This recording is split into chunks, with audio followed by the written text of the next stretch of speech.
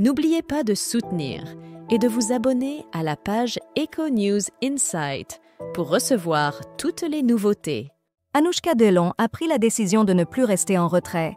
La descendante du renommé acteur a récemment brisé le silence et engage désormais une procédure judiciaire contre ses frères, Alain Fabien et Anthony Delon.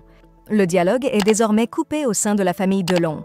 Depuis plusieurs mois, les tensions sont palpables entre les enfants d'Alain Delon, Anouchka, Anthony et Alain Fabien.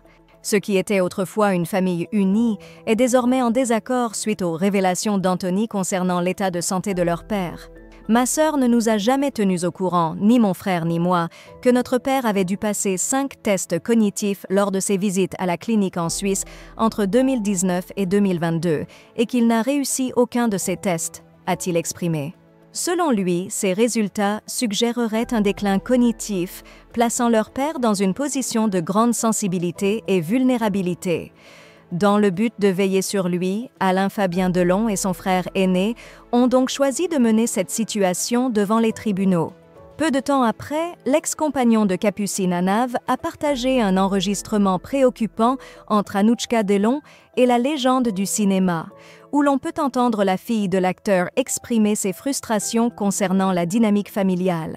Anouchka Delon a choisi de poursuivre en justice ses frères, Alain Fabien et Anthony, pour une affaire liée au respect de la vie privée. Fatiguée par la situation, la fille du célèbre acteur les accuse d'avoir porté atteinte à sa sphère personnelle.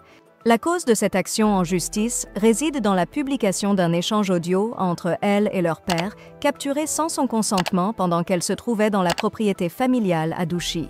Elle reproche à ses frères la manipulation, la détention ou la diffusion de contenu obtenu en violant sa confidentialité. Le jugement de cette affaire est prévu pour avril 2025, tel qu'établi par le tribunal de Paris.